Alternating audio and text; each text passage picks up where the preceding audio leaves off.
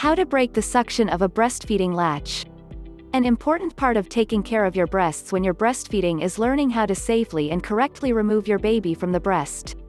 You may not need to do it often since your child will likely release the suction on their own most of the time. But, on those occasions when you have to do it yourself, using the right technique will help prevent unnecessary pain and damage to your breasts and nipples. Overview. When your baby is latched onto your breast the right way, all of your nipple and part of your areola, the darker area of skin surrounding your nipple, will be in your child's mouth. Point 1 A good latch makes a strong seal between your child's lips and tongue and your breast. This strong seal allows your child to create the suction they need to remove your breast milk while they're breastfeeding. Most of the time, when an infant finishes breastfeeding, they're ready to switch sides, or they just need a break from the feeding, they will open their mouth and let go of your breast on their own. However, there may be times when your child just doesn't let go, and you have to be the one to remove your baby from your breast. Causes.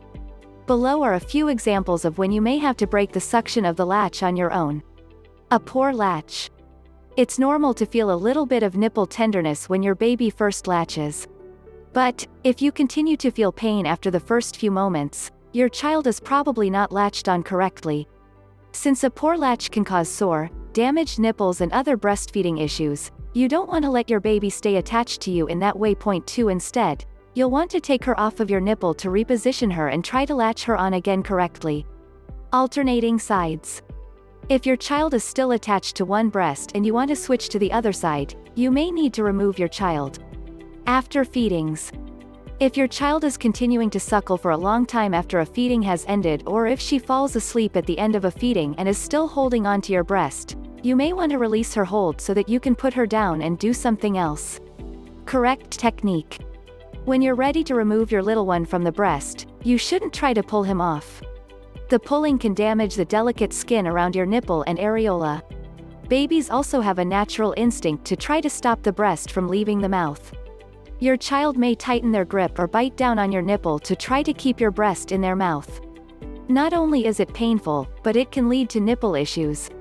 It's important to learn how to take your baby off of your breast without causing pain and sore nipples. Removal process. Make sure your fingers are clean. Place your finger at the corner of your baby's mouth. Gently slide your finger into the side of the mouth. Go past your baby's lips and between his gums as you press down slightly against the skin of your breast. This action will break the suction between your child's mouth and your breast. Once your baby opens her mouth, remove your breast. To prevent your baby from accidentally biting down on your nipple as you try to remove your breast from their mouth, keep your finger between your baby's gums until your nipple is safely out of the way. Where to find help? If possible, learn how to break the suction of a latch right from the start.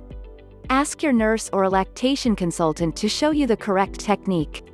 If you didn't have the opportunity to learn how to remove your baby from the breast when you first started breastfeeding, it's never too late. Your doctor, a lactation consultant, or a local breastfeeding group can provide you with assistance and more information.